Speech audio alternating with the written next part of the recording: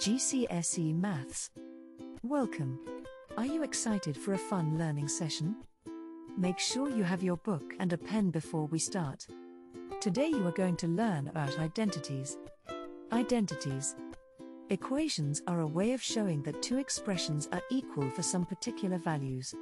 Identities are used the symbol shown and unlike equations they are always true no matter the value of the unknown. To solve an identity equation the expressions should be rearranged to check that they are the same. It is not necessary to move terms from one side of the equal sign to the other. For example the equation shown is an identity.